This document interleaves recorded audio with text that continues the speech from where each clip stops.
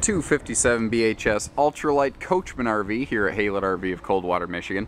We haven't had one of these in stock in a while, not because we don't like it, because we can't keep it in stock. This this floor plan's only existed for about nine months, and it's already a bestseller. It just instantly took off. It's it's awesome because everyone ha has seen that 26 foot no slide bunkhouse, but they just always wish they had a little room. I have a 26 no slide bunkhouse. I always wish I had a little more room. You know, this is, I sat down one time and I drafted up the floor plan I would want to take home. this is it. They came out with it like six months later. Um, there are so many lightweights today, guys, and there are more travel trailers now than ever. So why go with this one versus brand X? That's what I want to hit on. Every trailer is the best at something. They're all the best for different reasons. What makes the Freedom Express special? That's what I want to focus on. Because you can talk to 10 different guys at 10 different dealerships, and they're always going to say, well, my camper is the best. And they're right for different reasons, but that's what they don't tell you. It's the details, that, uh, like this little resin table right here. It's a, a two foot by four foot picnic table you can take outside, uh, use like, you know, for cleaning fish or anything like that, and it's resin top. It's not wood. It's not going to sponge and soak up water and fall apart over time. Um, this is all aluminum uh, framed and whatnot, and you see it's welded aluminum. Now, notice right here we have this easy button, boom, full LED lights. Now, this is the middle of the day, and uh, you can see it's already making a pretty big difference. Imagine when you're trying to, you know, manage your storage capacity here, you know, in the uh, morning or afternoon or evening or something like that. Also, this is an extra large baggage door and baggage compartment. It's like three quarters of a three quarter ton pickup bed with an extra wide door so you can actually get stuff in there. Um, about a year ago, Coachmen switched over to this bullet nose front profile. I think it looks better and it does seem to tow easier from what our customers have reported. I haven't personally verified that. Uh, a lot of lightweights are, are, skimping on things like the diamond plate. You won't find that on a Freedom Express. It's going to keep your camper looking good. Uh, they put the spare tire up front to keep your rear bumper open for bike racks, and you see they have a double-sized battery tray. They like to use 20-pound tanks instead of 30s, the advantage being that you can uh, swap these out anytime, anywhere. You know, if it's a Sunday and you're out of town and you, there's no place to fill propane, don't worry about it. Go to the gas station. Now, power awning, power tongue jack. Again, lightweight campers and generally any camper nowadays seem to give those things away like candy. So what you need to pay attention to is the quality of the appliance or the fixture. And that's where you're gonna find this really does kind of reign supreme. If you just look at a, a feature and spec sheet, you know, you're gonna see power awning, power tongue jack, enclosed underbelly. Well, a lot of campers have that, but are they different? Are they different grade motors? That's where the Coachmans are better.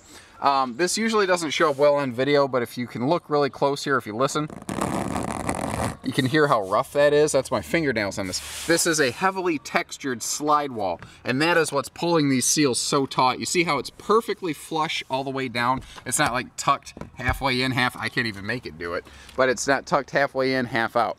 Um, now this is vacuum bonded not pinch roll laminated. There's nothing wrong with pinch roll lamination.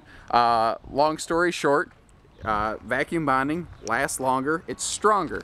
There's nothing wrong with pinch rolling. Vacuum bonding is better, it costs a dollar more. Again, those are the differences. If you're going to go camping twice a year and only for a weekend at a time, maybe you don't need something that's built on the upper tier.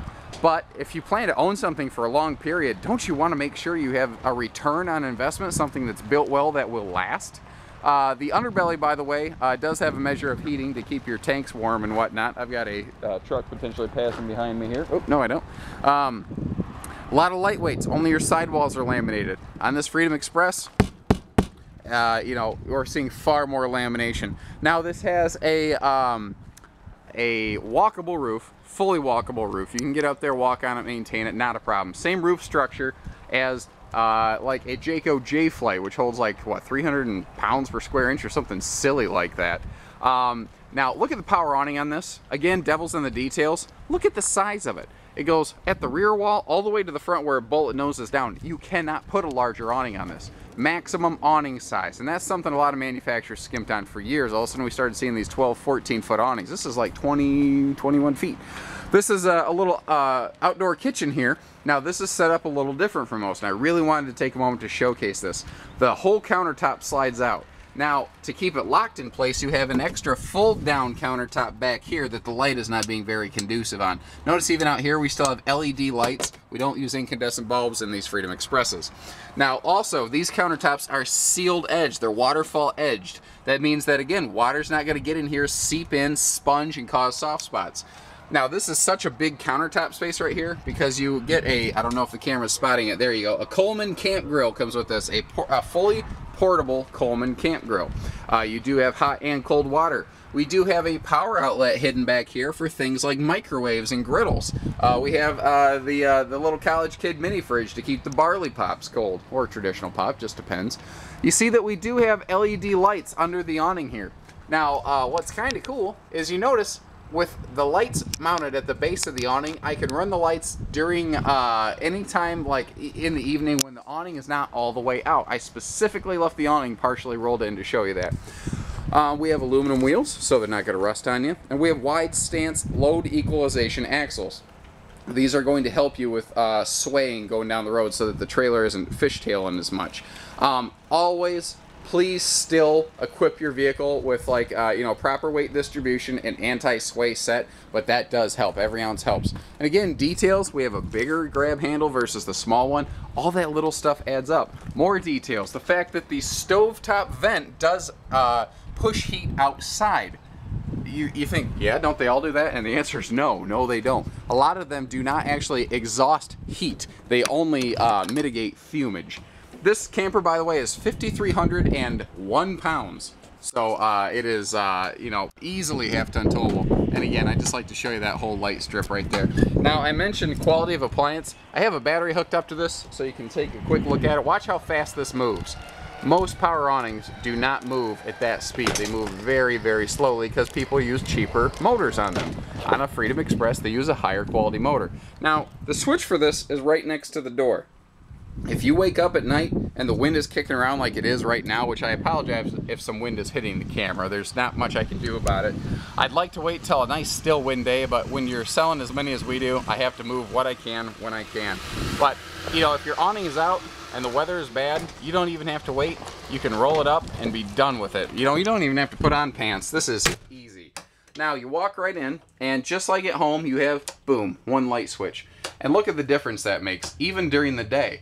That's because these are all LEDs. These are all high quality. These are not cheap incandescent bulbs. These are made to be bright and last a long time, worry-free, and not drain as hard on your battery.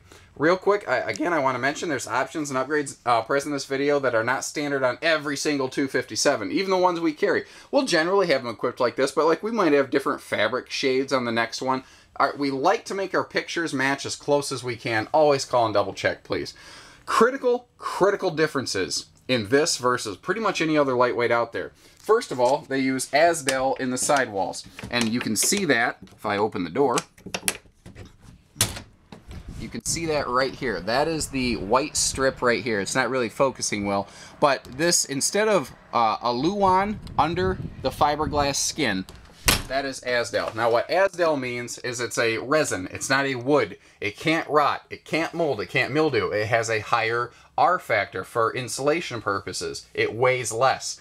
Now, that weight savings, what that's going to get you is this camper is now bigger. The, most travel trailers are 78 inches tall. This is 81 inches tall. That three inches makes all the difference in the world. It means you have bigger, taller cabinets. It means you have more bunk spaces. It means you have a taller shower. Now the critical one here in this model is it means you have three more inches for a taller slide out. So you're getting so much because of three inches of headroom, but you're not gaining weight because of the Azdel walls. It's pretty cool. This is very well engineered. You see you've got lots of windows in here, so much that it's making my camera freak out. And you're getting some, you'll get awesome cross breeze and airflow because of that. Your dinette storage is awesome. First of all, the dinette can fold down into a seven foot bed if you need it. Again, you will always see that sealed edge countertop I mentioned because if you're sitting here and the kid spills a Kool-Aid, it's not going to soak into your tabletop and, and cause it to sponge and get soft on you. Um, easy access to all of the side storage here. And uh, you can see again, they do put good uh, structure and reinforcement in there. Now notice on the back side of the dinette, you see these little finger holes? These are sliding panels, so you can get to that storage without tearing apart your entire dinette. Stuff like that takes an extra minute or two, but it's better. If you look around, you're going to see power outlets always right next to where someone's sitting or sleeping. That's to keep things like devices charged and ready at all times. Now, you, you will see a lot of very similar floor plans. If all you do is look at a floor plan schematic, you're like, well, these things are all the same. Devils in the details. Uh, like bigger storage here. That is one of the reasons our 257 Freedom Express sold out before any of the other similar models that we have. In this floor plan, this is the best seller. And I have this in Jayco, in Keystone, I have it here in a Coachmen. This is the one that outsells all of them because it has better storage and better intelligent design. Uh, you know, you have more space for all the kids' socks and toys and, and underwear and stuff like that. Um, again, talking about storage, you saw me open this overhead cabinet here. Did you notice? This is the, uh, the little box for like the microwave tray. See how small it looks in here compared to this big door? There's tons of storage space in here. Um, you have more full extension kitchen drawers right over here, and they are full extension, you see. This is one of my favorite things in Coachmen. They've had this for years, but it's awesome. This drawer wraps around the sink, and it's the best use of space under a sink ever in any camper ever. Um, a lot of manufacturers will give you two tall doors and then they will actually enclose this little section off down here for various reasons. Coachmen has designed this to give you maximum storage space everywhere they can. Um, even little things, because this is a little bit taller, they went ahead and said, not a problem, we'll just open up this little pocket for like bread and stuff. And it's got, uh, you can see my fingers kind of disappear here. It's got like a nice one inch lip there to keep stuff in place. Now, a 25 foot, primarily one room camper like this, still has central air when you're looking at a Freedom Express. I cannot say that across all manufacturers. Um, we are looking at the double over double bunkhouse here, which has just become all the rage. This has become the thing everybody's looking for. But in a Freedom Express, you're looking at 50% thicker bunk mats. You're looking at higher quality stuff even for the kids. Uh, lightweights usually do not have a gas and electric auto ignition fast recharge water heater. What all that means is that no matter where you are at any time you have hot water and if you're hooked up to shore power you can kick the gas and electric on at the same time for up to 18 gallons of hot water per hour. Lightweights usually don't have that. Um, Again, in the bathroom, sealed edge countertop. I've mentioned that a few times, but it's important because a, a lot of lightweights skimp on stuff like that. Um, Similar, the wall boards here around the shower, they're here to protect you from accidentally water damaging your own wall panels when shower water sprays off your body during bathing. Uh, so, you know, that's a preventative measure. I told you about how this camper is taller. That is no joke. I'm standing straight up and down in the shower. You get to see my nice balding hairline here because there's plenty of hair, uh, headroom above me and I don't have to put my head in the bubble over here. I don't know if any of that actually gets in the frame when I do it because I don't use a fancy camera. Now, you have bigger, easier light switches everywhere. And that's one of the things I liked. You saw one light switch for the living room, one light switch for the bedroom. That's how you have it at home. That's how it needs to be done. Um, your central air system here has a very cool little feature. You just flip these little fins open or closed. You first get to your campsite. It's really hot in here. Flip them open all the cold air drops right here in the living room so the kids can cool off and settle down while mom and dad finish up detail work. Flip them closed like that and it starts to shunt the air up through the central AC system. Um, we, you see that we have privacy doors, not curtains. Again, huge difference between a lot of lightweights right there. Not even lightweights, a lot of trailers, period. Um, if you're looking around, uh, you also notice that we do have the spinning entertainment center here. So your nice 32-inch flat screen that can spin around to face the bedroom. And down here we have, uh, there's no need to bring along extra electronics because this is an all-in-one entertainment center. AM, FM, CD, DVD, it's even got a little Bluetooth mode so your phone can hook up to it wirelessly. Speaking of phones, we have a very handy little charging center over here. And if you pop this door open, you see that you can hide your chargers away. I see a lot of campers today have these really cool like black plastic chargers that go on the wall. It has a 12 volt plug and then two USB plugs. That's great. It's way better than nothing. However, um, did you seriously just spend this kind of money on a new travel trailer so you could see charging cords dangling everywhere? Well, I mean, they they give you a way to hide that away here and make it look cosmetic and even have a little key rack. It's just, it's smarter, intelligent design, and you find that all over in a Freedom Express. Um, slide this door open here. One thing, uh, a couple things I want to show you actually up in this bedroom. Both sides of the bed have stands with power outlets. You can run your CPAP machines and all that. Both sides of the bed have a very large, generous uh, wardrobe area. And where a lot of lightweights are just giving you a shelf or nothing overhead, you still get cabinets in a Freedom Express. Um, we actually have a roof vent here in the bedroom to help with more airflow. You see more LED lighting. There are no incandescents, I mentioned. And this is another big difference. This is an 80-inch true queen bed. Most lightweights have that 74-inch camper queen. A tall guy like me can sleep on this without my feet hanging off the bed. And holy cow, I ran long on this video. Uh, give us a call, 800-256-5196. Haylett RV of Coldwater, Michigan. Thank you, everybody. Take care. Stay safe. Happy camping.